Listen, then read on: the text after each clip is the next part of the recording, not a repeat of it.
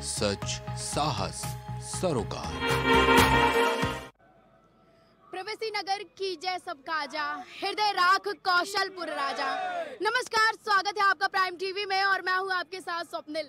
जैसे कि आप देख रहे हैं कि अयोध्या में राम को लेकर जो जोश है वो आप देख ही सकते हैं। जय श्री राम के नारे जो है वो लगातार लगते ही जा रहे हैं। आप देख सकते हैं कि जय श्री राम के नारे से अयोध्या एकदम जगमग हो गई है, उजागर हो गई है। लोगों में जो एक्साइटमेंट है, वो इतनी ज़्यादा बढ़ गई है कि अब लोगों में रघुपति के नारे लगातार लगते जा रहे हैं। आप देख सकते हैं कि उत्साह बढ़ता ही जा रहा है।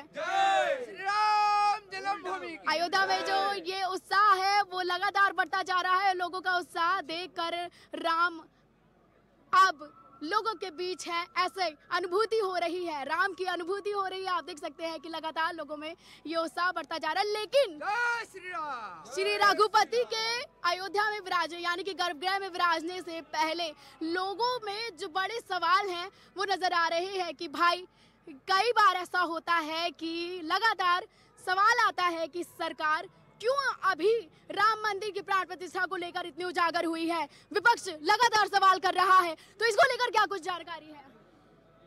जिन लोगों में सामर्थ्य होता है, जिन लोगों में, जिन लोगों के द्वारा भगवान श्री राम प्राण प्रतिष्ठा करवाना चाहते हैं और प्राण प्रतिष्ठा करवाते किस, किससे हैं और राम जी आ किस, किसके साथ रहे हैं? सबसे बड़ी बात तो ये है, राम जी आ रहे हैं साधु के साथ। और राम जी हमेशा चाहे वो विवाह के लिए गए हों या यज्ञ रक्षा के लिए गए हों, गए हैं तो सिर्फ़ साधु के साथ गए हैं, ना कि ये राक्षसों के साथ में नहीं गए हैं। और इन लोगों ने, जो विरोधी पार्टी के नेताओं ने, जो निमंत्रण कार्ड को ठुकरा करके और सनातन को बरगलाने के लिए कि सनातन मतलब हिंदू, हिंदुओं का हमारा वोट न कट जाए धर्म विशेष भी हमारा खुश रहे और हिंदुत्व भी बचा रहे। तो इसलिए ये जो 22 तारीख को अपना खोपड़ी फोड़ने भगवान शिव के दरवाजे पे जा रहे हैं तो इनको मैं एक चीज़ बता दूँ कि राम जी का विरोध करके कभी भगवान शिव माफ़ नहीं करते हैं। अगर इनको अपनी ही सत्ता बचानी है, यदि अपनी कुर्सी बचानी है और अपने आप को बचाना है तो भगवान श्री राम का सानिध्य प्राप्त कर लें अन्यथा उसी में इनकी भलाई है अन्यथा भगवान शिव इनको कभी माफ़ नहीं करेंगे नहीं करेंगे नहीं करेंगे। 500 वर्ष का इंतज़ार है राम लला आने को तैयार हैं। क्या कुछ कहना है आपका? हाँ बोलिए जय श्री राम अयोध्या धाम की जय। आज बहुत सौभाग्य और इतना भव्य प्रोग्राम हो रहा है और हम लोगों का बहुत सौभाग्य की बात है कि ये 500 वर्ष के बाद ऐसा राजनीतिक ने, घटिया राजनीतिक ने कांग्रेस ने किया और कभी यहाँ का उजागर नहीं होने दिया। और आज हमारे बीजेपी सरकार, श्री नरेंद्र मोदी जी ने, उन्होंने ऐसा कार्य किया कि हम सब हिंदू को और ये अयोध्या का नाम का उज्जवल किया और उन्होंने जो कहते हैं जो श्री राम का नहीं वो किसी काम का नहीं। सियासत गरमाई है राम से मिलने की घड़ी आई है। क्या कुछ जानकारी है कि लगातार सियासत गरमाती जा रही है और राम से मिलने की घड़ी भी नज़दीक आ रही है? बिल्कुल देखिए राम मंदिर अगर राम जन्मभूमि में नहीं बनेगा तो क्या दक्षिण कोरिया और कनाडा और पाकिस्तान में बनेगा? कहने का भाव इतना ही है आपके चैनल के माध्यम से। कहीं ना कहीं हम लोग महात्मा साधु बाद में पहले सनातनी, पहले भगवान के भक्त हैं, पहले राम भक्त हैं। आज राम के नाम पर जो लोग राजनीति कर रहे हैं, राम के नाम की रोटी सेक रहे हैं तो पहले उनको ये समझ लेना चाहिए कि राम के बल को मत देखिए, राम के स्वभाव को देखिए। राम सबरी के भी थे, केवट के भी थे, निषाद राज के भी थे। आप जनकपुर के प्रसंग में देखिए तो मालियों के भी राम थे, लेकिन कांग्रेसी राम नहीं थे। बसपाई सपाई राम नहीं थे। राम सियासत गरमाई है राम से मिलने की घड़ी आई है। क्या कुछ कहना है? जी मैं तो बस यही कहूँ कि जय श्री सीताराम। राम कल भी थे राम आज भी हैं राज अनंत काल तक। लेकिन सियासत क्यों बढ़ती जा रही है? आखिर ये जो सियासत का जो पक्ष लिया जा रहा है वो क्यों बढ़ता जा रहा है? क्योंकि बढ़ता जा रहा है ये बीजेपी हमारा बहुत अच्छा है। और स्वभाव है कि राम लला जी का बढ़ती जा रही है क्योंकि इनको धर्म विशेष की राजनीति की वो करनी है। इनको मुसलमानों को खुश करना है क्योंकि राहुल गांधी के अब्बा हैं मुसलमान। और ये लोग इनके बताइए इनमें इतना संस्कार है कि प्रियंका को अपनी बहन बता रहे हैं और स्टेज पे चुमा ले रहे हैं। हैं? तो इनमें इतना संस्कार है। अभी मुल्ला का रूप नहीं धारण करेंगे तो क्या राम का थोड़े धारण करेंगे? लेकिन राम तो सभी धर्मों को मानने वाले हैं ना। राम की राम की शरण में नहीं आएँगे। ये मस्जिद में नमाज़ पढ़ने जालीदार टोपी लगा के ज़रूर जाएँगे। इनको राम के पास आने का समय लेकिन लेकिन कांग्रेस तो कहती है की वो तो मोहब्बत की दुकान चलाती है। लेकिन इस बार मोहब्बत की दुकान कितनी कारगर साबित लग रही है आपको की राजा राम की जो मोहब्बत है उसमें कांग्रेस नहीं नज़र आ रही है। क्या कुछ कहना है इस पे आप लोगों का? आपने कहा मोहब्बत की दुकान चलाती है। मोहब्बत की दुकान मुसलमानों में चलती है। हैं? मोहब्बत की दुकान सिर्फ़ मुसलमानों में चलती है। हमारे सनातन में तो सिर्फ़ प्रेम होता है। हमारे सनातन में सभी को ले करके चाहे कोल भील को ले लीजिए, चाहे केवट को ले लीजिए, चाहे सबरी को ले लीजिए, चाहे निषाद राज को ले लीजिए, जिसको भी भगवान ने लगाया है, सबसे प्रेम करके सबको इकट्ठा किया है। ना कि उनके, उनकी तरह, कांग्रेसियों की तरह, चोरों की तरह मोहब्बत की दुकान चलाए हैं। हमारे राम जो है वो संस्कारवान है चरित्रमान है और ये चरित्रहीन है। एक नंबर के शुद्ध चरित्रहीन है सिर्फ़ हिंदुओं को बरगलाने का कार्य कर रहे हैं सिर्फ़ अपना जाकर माथा फोड़ने का। क्या लगता है कि सियासत गरमाई है और राम से मिलने की घड़ी अब नज़दीक आई है? बिल्कुल बिल्कुल। राम जी से मिलने की घड़ी नज़दीक आ चुकी है। हमारे राम जी बस कुछ ही दिन बचे हैं अपने स्थान पर पहुँच जाएँगे अपने महल में विराजमान हो जाएँगे। मैं एक भजन के माध्यम से ये अपनी खुशी ज़ाहिर करना चाहता हूँ। कि देखो राजा बने, महाराज आज राम राजा बने। देखो राजा बने, महाराज आज राम राजा बने। भगवा में हुई अवध की गलियाँ, भगवा में हुई अवध की गलियाँ, बन रहा मंदिर, खिली मन की कलियाँ। बन रहा मंदिर, खिली मन की कलियाँ। आओ महलों में, आओ महाराज, आज राम राजा बने। देखो राजा बने महाराज, आज राम राजा बने। जय जय श्री राम। तो बड़ी अच्छी बात रही, लेकिन सियासत क्यों हो रही भाई? अब तो ये हो गया है ना कि राजा राम अपने गर्भगृह पधार रहे हैं अपने घर आ रहे हैं फिर भी सियासत क्यों हो रही है? हमें तो इसी बात से खुश होना चाहिए ना कि राजा राम मर्यादा पुरुषोत्तम राम अपने घर आ रहे हैं। आपका यदि जी, बिल्कुल लिया जाए आपका मकान यदि छीन लिया जाए और आप दूसरे के मकान पर कब्जा किए हों और आपसे मुकदमा जीत करके या केस जीत करके या जैसे भी हो हमारे में यदि सामर्थ्य है तो हम जैसे भी, जिस विधि से आप खुश होंगे, जिस विधि से हम लेना चाहेंगे, उस विधि से ले लेंगे। ठीक? आपसे यदि आपका मकान लिया, ले लिया जाएगा, आपने किसी का मकान कब्जा किया, उसका मकान उस छीन करके आपसे उसको दे दिया जाएगा कि आप खुश होंगे। कभी नहीं खुश होंगे। तो इसलिए राहुल गांधी के पूर्वज हैं मुसलमान। हैं? अपनी विवाह कर हम तो कह रहे हैं कि तुमको राम मंदिर में नहीं आना है निमंत्रण ठुकराना हम तो कहेंगे रा- जितने कांग्रेस के नेता हैं जितने भी हैं ये नीचे से लेकर के ऊपर तक इन लोगों को राम मंदिर में नहीं आना है तो मत आते निमंत्रण कार्ड को क्यों ठुकराए? पर अब अब हम इसको ज़रूर कहेंगे कि अब महाराज आपकी नाराज़गी जो है महान जी वो इससे है कि न्योता ठुकराया गया है। क्यों? सनातन को क्यों ठोस पह- पहुँचाया जा रहा है? और फिर सनातन का शरण क्यों लिया आपके पास फिर से आना चाहेंगे? आपसे पूछना चाहेंगे कि आखिर अब तो राजा राम आ ही रहे हैं तो सियासत क्यों गरमा रही है? बिल्कुल क्योंकि जियो का डेटा और सोनिया का बेटा केवल मनोरंजन के काम आ सकता है राष्ट्र कल्याण के काम कभी नहीं आ सकता है। ये लोग राम से राजनीति नहीं करेंगे तो तब तो इनका पतन होगा। राम मतलब राष्ट्र माँ मतलब मंगल। राष्ट्र का मंगल राम राज्य परिकल्पना से होगा। राजनीति से नहीं होगा। लेकिन राम का तो नाम ही चालीनता भरा है। लेकिन फिर इस चालीनता भरे नाम के साथ क्यों इतनी सियासत हो रही है? क्योंकि इनका पतन कैसे होगा? क्योंकि ये लोग टोपी पहनते हैं और टोपी पहनाने का काम करते हैं। बाबा जो हमारे डबल इंजन की सरकार में मौजूदा मुख्यमंत्री योगी आदित्यनाथ जी भगवा पहनाते और लोगों को भगवा मय करते हैं। हमारे लिए गौरव का बात है कि पहली बार किसी ऐसे साधु के हाथ में सत्ता गई है कि जो अयोध्या का केयर किया है।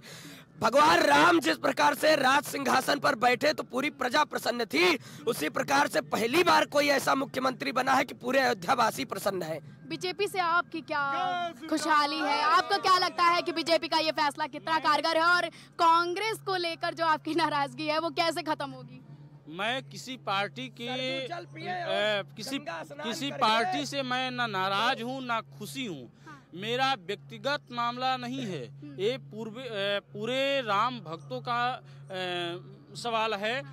इन्होंने अन्य पार्टी जैसे समाजवादी पार्टी के राष्ट्रीय अध्यक्ष ने कहा दिया कि नहीं हम बाईस जनवरी को नहीं आ रहे हैं हम शाह परिवार बाद में आएँगे। ये भी कह सकते थे। क्या इनके पास ये सवाल नहीं था? इनके पास ये उत्तर नहीं था? ये भी कह सकते थे। पर क्यों? ये सिर्फ़ मुसलमानों को खुश करने के लिए ऐसा कर रहे हैं। ये तुष्टिकरण की राजनीति करके अपने आप को समाज के बीच में बने रहने के लिए कर रहे हैं और मुसलमान हमसे कितना ज़्यादा प्रभावित होकर के जुड़ जाए। अच्छा आप बताइए मान लीजिए कि नहीं इस राम मंदिर के प्राण प्रतिष्ठा के उत्सव में नहीं आए तो नहीं आए कोई बात नहीं। इससे पहले से अगर कांग्रेस का पहला इतिहा, पुराना इतिहास है कि जब भी चुनाव प्रचार करना होता था तो फैजाबाद आकर के बगल में पास पास का एक जिला था, जो अयोध्या का जिला था, आज माननीय मुख्यमंत्री जी ने उसका नाम फैजाबाद का नाम बदल करके अयोध्या रख दिया है। अयोध्या में, अयोध्या जनपद में आकर के चुनाव प्रचार करके चले जाते थे, चाहे उनके राष्ट्रीय अध्यक्ष रहे हो, चाहे उनके प्रवक्ता रहे हो, चाहे कोई भी रहा हो ए से जेड तक की। पर उनको राम का और हनुमान जी का दर्शन करने का सौभाग्य नहीं प्राप्त हुआ। ये इतने बड़े घोर पापी इंसान हैं, जिनका इन लोगों का तो मुँह देखना महाराज पाप है। लेकिन महान जी लेकिन महान जी राहुल गांधी यानी कि कांग्रेस तो कहते हैं कि आ, क्या कहते हैं राजीव गांधी ने यहाँ का ताला खुलवाया था उसको लेकर क्या कुछ कहना लगवाया भी तो उन्होंने ही था। लगवाया भी तो उन्होंने था और राहुल गांधी ने राजीव गांधी ने यदि ताला तोड़वाया खुलवाया था तो अटल जी की सरकार को अपना संस्कार करना पड़ा। क्यों? संस्कार क्यों करना पड़ा? अटल जी को इस्तीफा क्यों देना पड़ा? मुख्यमंत्री तो कल्याण सिंह जैसा चाहिए कि कुर्सी का मोह ना करते हुए कहे कुर्सी तो पाँच साल तक रहेगी लेकिन भगवान राम अगर बिराजेंगे मंदिर में तो जीवन में इससे ज़्यादा सौभाग्य क्या होगा? उन्होंने कुर्सी को ठुकरा दिया राम के लिए। जो राम का, वही काम का, जो नहीं राम का, वो नहीं किसी काम का। चाहे वो कांग्रेसी हो, चाहे वो सपाई हो, चाहे वो भाजपाई हो, कोई हो, राम से बड़ा कोई नहीं हो सकता है। जो राम का, वही काम का, जो नहीं राम का, वो नहीं किसी काम का। और घन गरज गरज के कहते हैं, ये बात मयूरों से पूछो भक्ति में कितनी मस्ती है ये भेद फकीरों से पूछो। उन गुबरीली चौफालों में माखन का खाना क्यों भाया? श्री कृष्ण प्रेम में लीन हुए ये उन्हीं हीरो से पूछो। उड़ते प्रकाश में परवाने फूलों पर भवरे मंडराते तोड़े से भी क्या टूट सके ये प्रेम जजीरों से पूछो। प्रेम की भाषा को सिखाइए, देश में तोड़ने का काम मत करिए। मैं तो हर पार्टी के नेता से यही कहूँगा, देश को जोड़ने का कार्य करिए। विश्व का कल्याण हो, सर्वे भवंतु सुखिना, सर्वे संतु निरामया की मंगल कामना को लेकर के चलने का प्रकल्प उठाइए। देश को तोड़ने का काम मत करिए, कोई भी हो। अगर आप देश को तोड़ेंगे, कहीं ना कहीं आप सनातनी को तोड़ रहे हैं। सनातनी को बरगला रहे, हिंदुत्व को लड़ा रहे आपसी में। राम का काम लड़ाने का नहीं है, राम का काम जोड़ने का है। राष्ट्र, अभी तो राम मंदिर बन रहा है महाराज, अभी तो राष्ट्र मंदिर बाकी है। अयोध्या तो झाकी है, काशी और मथुरा अभी बाकी है। तो जैसा कि आप देख सकते हैं कि अयोध्या की जो बारी है, वो तो आ गई है, लेकिन बीजेपी से जो आपकी एक्सपेक्टेशन है, बीजेपी, क्या आपको लगता है कि बीजेपी मोहब्बत, जैसे कांग्रेस कहते हैं, हम तो मोहब्बत की दुकान चला रहे हैं तो बीजेपी का ये फैसला लोगों के लिए कितना कारगर साबित होने वाला है? कांग्रेस मोहब्बत की दुकान चलाती है, बीजेपी राम भक्ति की दुकान चलाती है। टाट वाले राम ठाठ में, अगर भगवान टेंट से एयर कंडीशन पर विराजमान है तो ये बीजेपी का कहीं ना कहीं इस पे भी श्रेय जाता है। आज तक की जो सरकारें रही, वो राम के अस्तित्व पर सवालें खड़ा किया करती थी। राम के बताए हुए कार्य पर संदेह करती थी। वर्तमान जो डबल इंजन की सरकार है, ये राम भक्ति का कहीं ना कहीं मार्ग प्रशस्त करती थी। आपने देखा होगा, त्रेता युग में भगवान राम पुष्पक विमान से उतरे। तो त्रेता युग की भांति, अयोध्या में माननीय मुख्यमंत्री जी भगवान राम को दिव्य हेलीकॉप्टर के द्वारा उतारते हैं। हेलीकॉप्टर से फूलों की वर्षा करते हैं। इसके बाद, हेलीकॉप्टर से उतारने के बाद, फूलों की वर्षा करने के बाद, त्रेता वाली फीलिंग कलयुग में लोगों के अंदर, त्रेता कलयुग में दिख रहा है, यही तो राम राज्य है। हर व्यक्ति के अंदर, जिधर भी निकलिए, चारों तरफ़ आप जहाँ पर खड़े हैं, देखिए राम जी की पैड़ी का अद्भुत नज़ारा। यहाँ पर 21 लाख विश्व रिकॉर्ड दीपोत्सव मनाया गया। जरा बताइए कि जहाँ पर जगमगाती अयोध्या भव्य अयोध्या दिव्य अयोध्या नव्य अयोध्या चारों तरफ़ अयोध्या का विकास हुआ, कायाकल्प हुआ। ये क्या किसी और सरकारों में हुआ? अयोध्या में बंदर मरता था तो तीन दिन तक बदबू करता था। लेकिन जो वर्तमान में डबल इंजन की सरकार है, ये कहीं ना कहीं हमारे देश के लिए, हमारे राष्ट्र के लिए, हमारे प्रदेश के लिए, ये औषधि के रूप में कार्य कर रही है। और मैं धन्यवाद दूँगा आदरणीय योगी आदित्यनाथ जी का कि वो अपने देश में और प्रदेश में हम लोग एक अपील करेंगे पूरे देश और दुनिया के साथ साथ हम लोग चाय वाले के बाद गाय वाले को देश का पीएम नियुक्त करेंगे और चाय वाले के बाद देश का शासक गाय वाले को चुनेंगे देश का प्रधानमंत्री के रूप में। तो जो राजा राम के आगमन को लेकर उत्साह अब उत्साह के बारे में भी जरा आप बता ही देखिए भगवान राम राजा बन रहे हैं। इससे ज़्यादा किसी सनातनी को इससे ज़्यादा किसी हिंदुत्व को गर्व नहीं हो सकता। एक साल में जो भगवान टेंट में रहते थे, टेंट का पर्दा बदलने के लिए उच्चतम न्यायालय, high court, supreme court court के चक्कर राम काट रहे थे। विचार करिए, वो राम आज भव्य, दिव्य, नव्य महल में विराजमान हो गए। इससे ज़्यादा हमारे लिए खुशी और प्रसन्नता की बात क्या हो सकेगी? भगवान जो कोर्ट के चक्कर काटते थे वकीलों के। आपके पास अभी आते हैं हमारे साथ इसी कड़ी में मौजूद है अंतरराष्ट्रीय महामंडलेश्वर महादेव बाबा। तो अ, बाबा जी हम आपसे जानना चाहेंगे कि राम के आगमन का जो उत्साह है राम आ रहे हैं त्रेता युग जैसा एक बार फिर से कायाकल्प किया गया है। तो क्या संतुष्टि है और क्या कुछ? जैसा कि सियासत पे तो हम बाद में बात करेंगे लेकिन राम के आने की जो खुशी है उसे हम आपके लोगों तक व्यक्त करना चाहेंगे।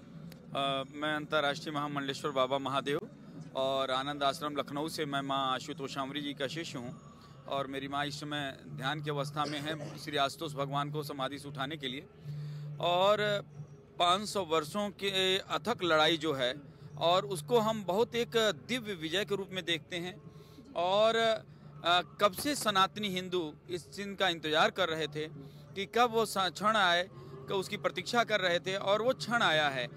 चाहे वो कैसे भी आया है और दरअसल इसमें बहुत सारा बलिदान है, बहुत सारा त्याग है, तपस्या है और बहुत सारा ये है और वो सबको मिलाकर मैंने एक चीज़ देखा कि ये समय तब आया है और मुझे लगता है कि उसको शब्दों में बाँध पाना आई कांट एक्सप्लेन दैट उसको मैं बयान नहीं कर सकता कि वो कौन सी खुशी है, लेकिन इतना ज़रूर है कि हर एक जीव, वो सिर्फ़ मनुष्य नहीं, पशु पक्षी भी इस समय आनंदित हैं आह्लादित हैं खुशी हैं प्रसन्न हैं। और वह इस आनंद को एक ऊर्जा के रूप में एक तरंग के रूप में एक आध्यात्मिक कृपा प्रवाह के रूप में देख रहे हैं। और मैं भी स्वयं इस बात को महसूस कर रहा हूँ अयोध्या ही नहीं अभी अक्षत वितरण का जो कार्यक्रम था जो लोगों के अंदर उत्साह था जिस प्रभाव से हम जब घरों में जाते थे लोग प्रणाम करके कि जैसे राम आए हों तो मतलब आ, राम के सामने हम क्या हैं? कुछ भी नहीं।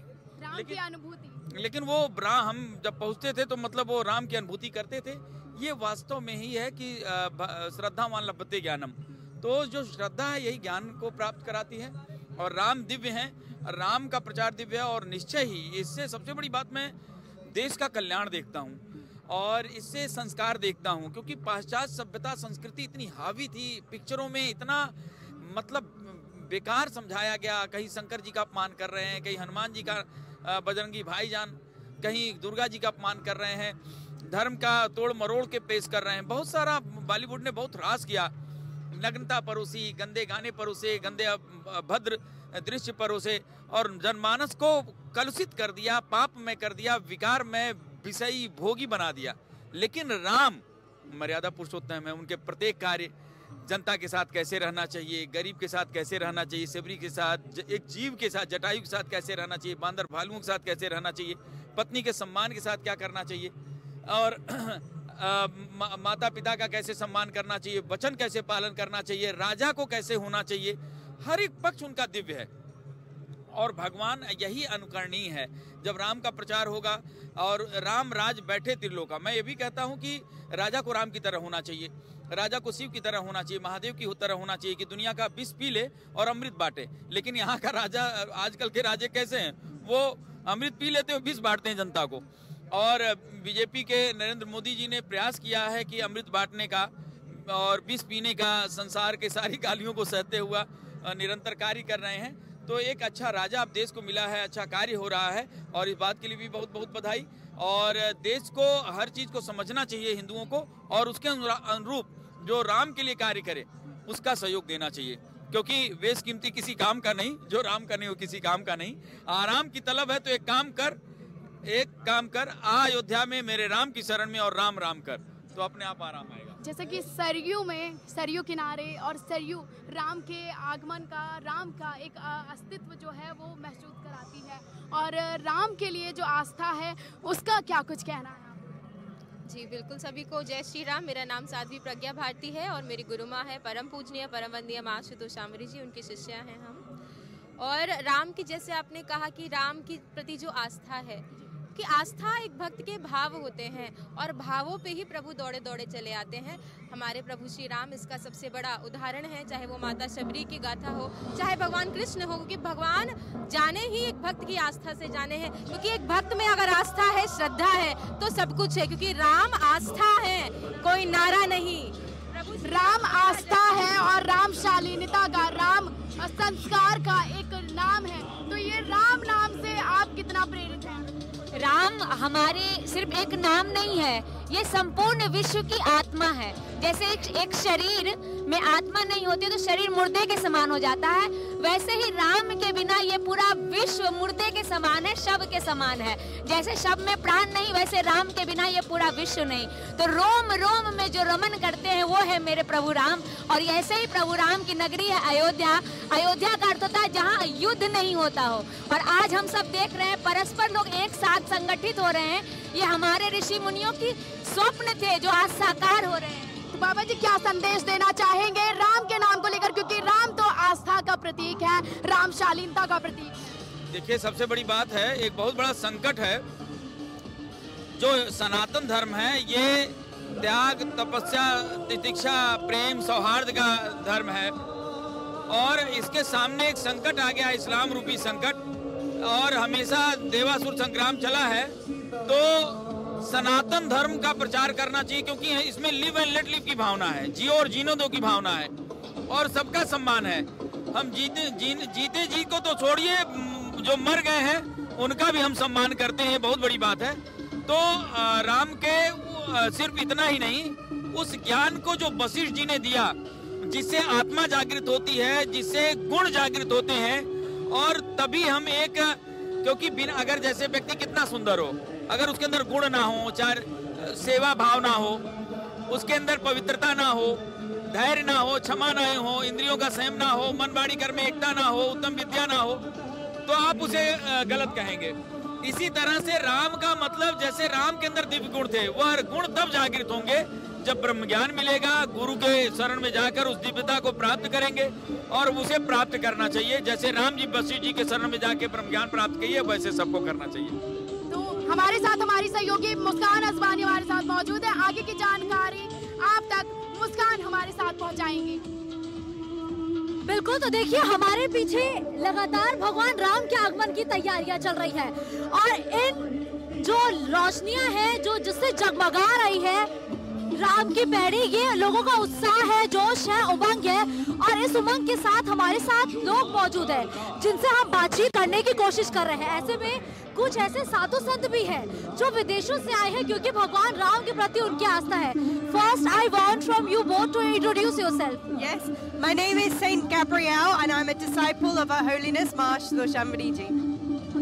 and I your name and from where you come to Ayodhya my name is doctor Sadhvi Avakshi Bharti I have come from the UK I am a disciple of Marsh तोशामरी ji The reason I'm here in Ayodhya is for Ramji's Pran Pratishtha. And the reason why I'm here for that is because Ayodhya is the place where Sri Ramji had his birth. But then also the place he came to stop at Ramraj. But Ayodhya, the actual meaning of it is that Ram is within all of us and he is still here within our minds, within our body, within our intergat. This is Ayodhya because when we are born, we are born with Ramji's name. And then when we go into the world, we end up falling here and there. Then that's our vanvas. Then Ramji pulls us like he pulled us here, like our Ma, Guru Ma pulled us here and shows us Ram within ourselves so Ram Raj can be stopped. with. So what's happening in Ram Mandir right now, on a bhautik level, it is Ramji's murti being stopped. But on a spiritual level, it's a big, massive start that Ramji, who is always everywhere, everyone can now see him. You are absolutely right. But how are you feeling right now when you came here? I felt really, really excited because it's amazing to see all of this celebration, everything that's happened here in Bharat. And it's amazing because this effect has spread throughout the entire world. There's events happening in Leicester in the UK, in the Eiffel Tower on the 21st of um, January. There's going to be a big march in Paris.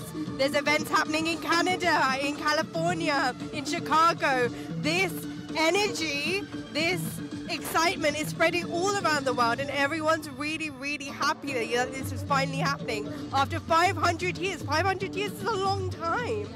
After 500 years of this fight, it's finally, there's going to be a Murti of Lord Ram in where he was born. And it's such an incredible thing to see and we're all very excited and happy about it. You came from London to see the beauty of Ayodhya because you are saying that Lord Ram is within us. Within us. Yeah, within us. Will you please tell me the history of Ayodhya? What do you know about Ayodhya?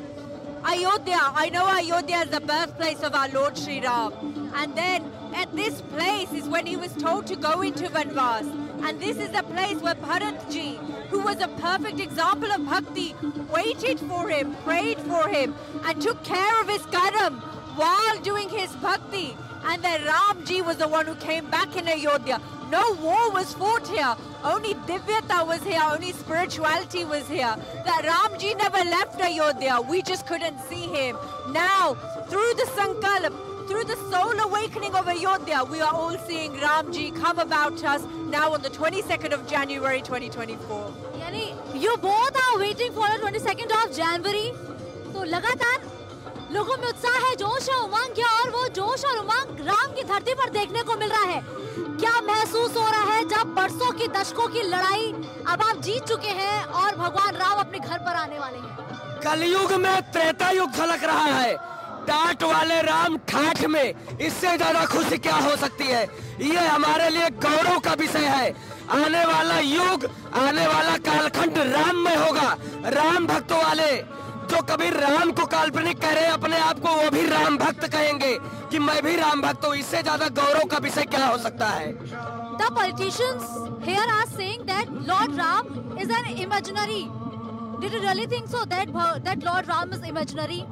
No, why would Lord Ram be imaginary? What do the scriptures say? That Lord Ram, that divine light, exists within us. If you think about the story of Diwali, Diwali, what happened? Lord Ram destroyed evil, destroyed evil in Lanka, and they lit all of those diyas on his way back to Ayodhya. Why? What does that mean? What's a representation? It's a symbolism of that divine light, and it's a divine light that exists within all of us. In the Bhagavad Gita, it says, Jyotisham apitab jyotis, hriday sarvastita, jnanam gayam, jnanagamyam, hriday sarvasya vishtatam. It talks about that divine light, that universal form of God. In all scriptures, from the Vedas, the Bible, the Quran, it talks about the divine light, that divine light that is within us.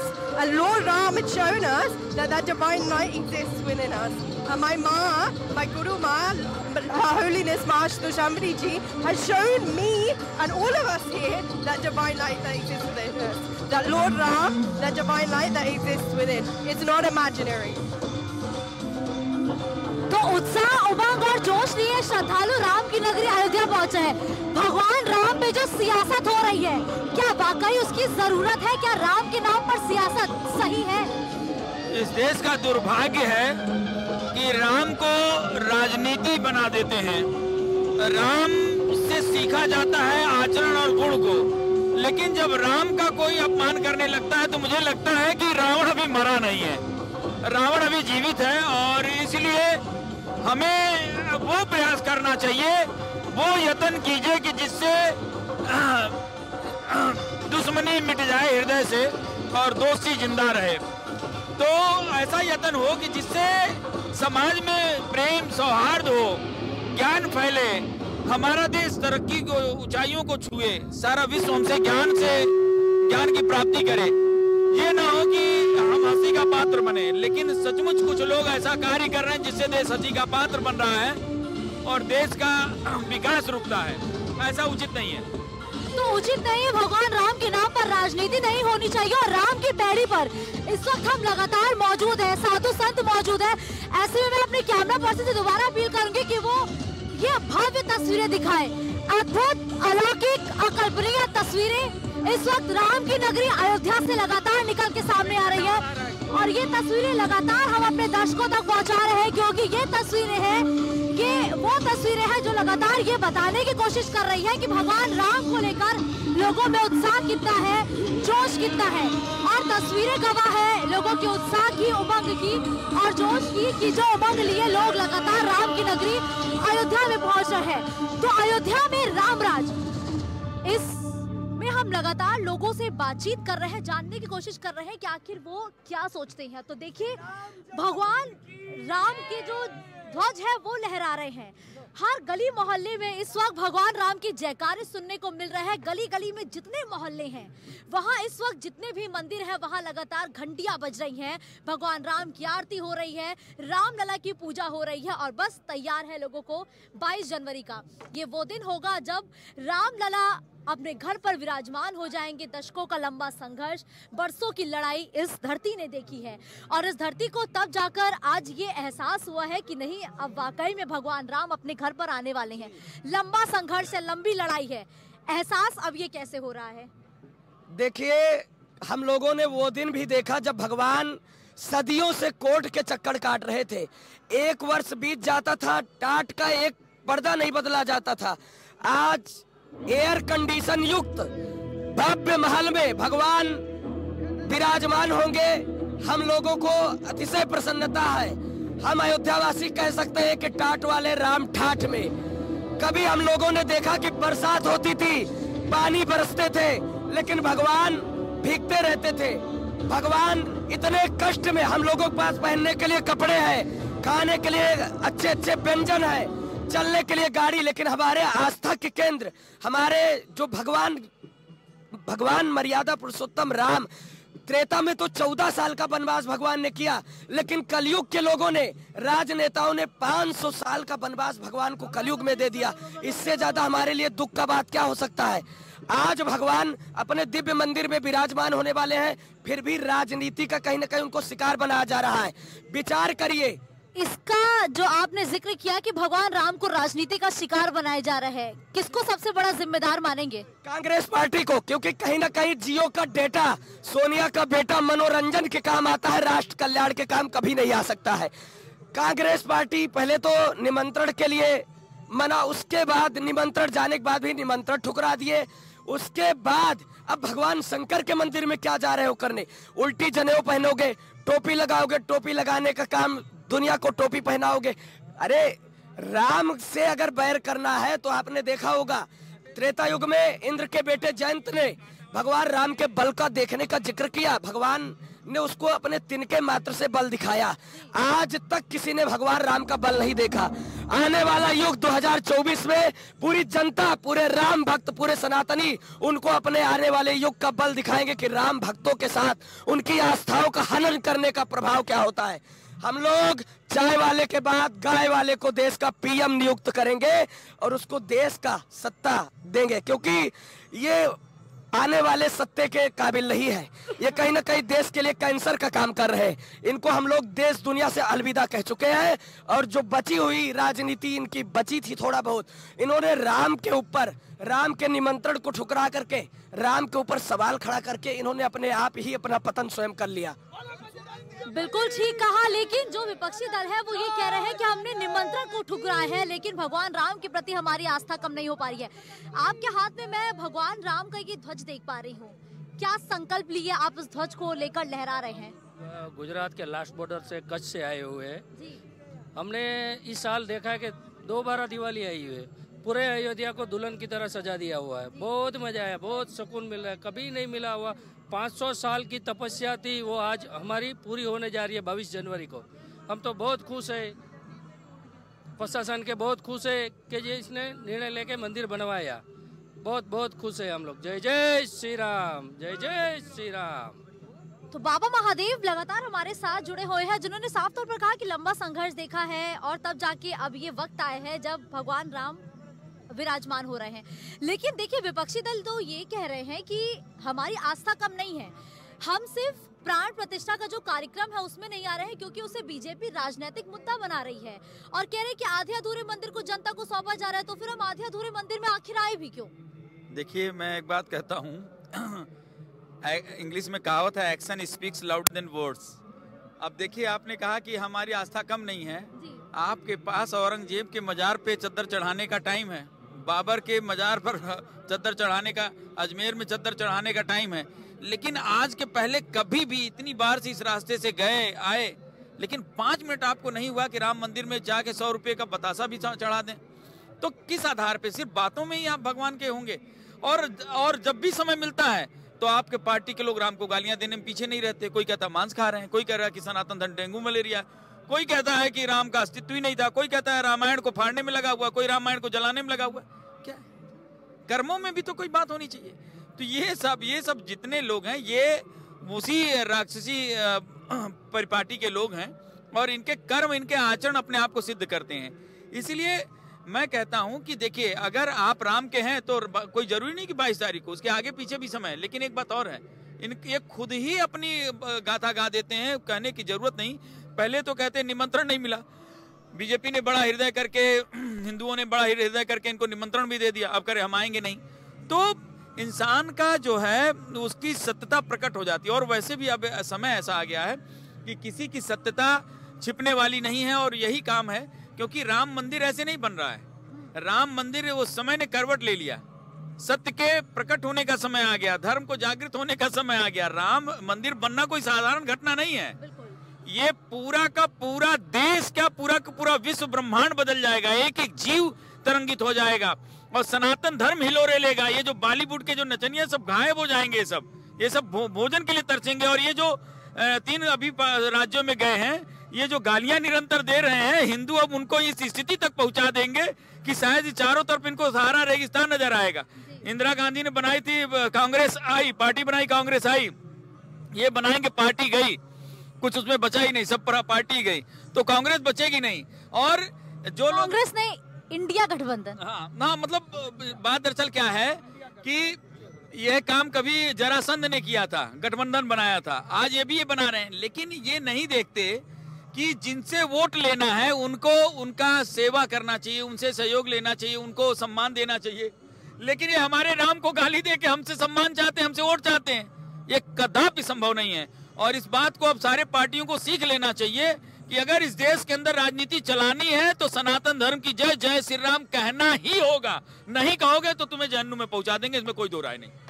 तो उबाल है, जोश है, गुस्सा है, लोगों का साफ़ तौर पर कहना है कि अगर विपक्षी दलों को सत्ता में बने रहना है और सत्ता में क्या अगर राजनीति में बने रहना है तो उन्हें भगवान राम का नाम लेना पड़ेगा और बीजेपी ने साफ़ तौर पर एक लक्ष्मण रेखा तो खींच दी है कि भाई जो 2024 का चुनाव है, वो कहीं ना कहीं भगवान राम के नाम पर लड़ने को लगभग तय माना जा रहा है कि 2024 का चुनाव भी अयोध्या पर लड़ा जाएगा। जिस तरीके से अयोध्या का जीर्णोद्धार हुआ है, अयोध्या का विकास हुआ है, बीजेपी इस मुद्दे को लेकर जनता के बीच पहुँच रही है। लक्ष्मण रेखा खींच चुकी है और विपक्षी दलों के पास क्या इसकी काट होगी, ये देखना बेहद दिलचस्प होगा। तो अयोध्या में रामराज, लगातार हम इस खास कार्यक्रम के ज़रिए आपको पल पल के अपडेट पहुंचाते रहेंगे और आप बने रहिए हमारे साथ।